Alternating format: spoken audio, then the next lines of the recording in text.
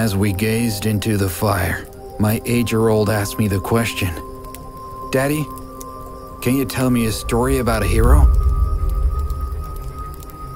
So I did. It's about a hero who everybody underestimates. The modern day hero. He's brave like a lion. He's flexible like a leopard.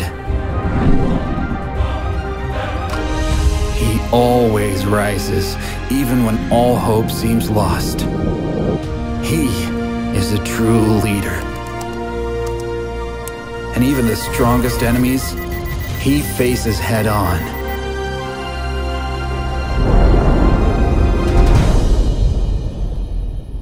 Nobody can beat him, my daughter said. Little did she know about her hero's only weakness.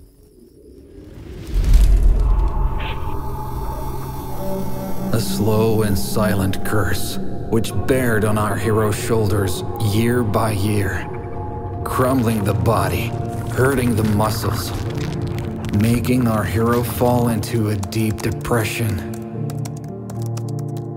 I don't like this story. Well, it's not over yet. In 1994, our hero got a helping hand. A brand, I mean a wizard, called BakkerElkhuizen. Together, they started fighting the curse, upgrading our hero's armor, helping the hero rise out of the darkness. Our hero regained the vitality a modern hero deserves.